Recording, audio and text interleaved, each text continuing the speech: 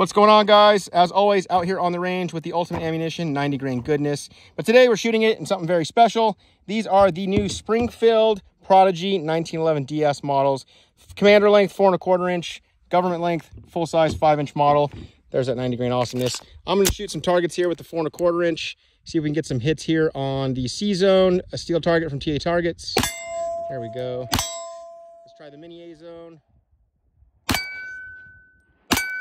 Nice.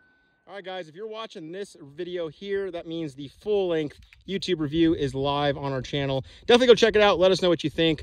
Uh, just as you guys are, we're very pumped to see these hit the market. You got optic cut, you got a bull barrel, you got a double stack 1911, something we've been wanting from Springfield for a long time. Super stoked to be part of the launch.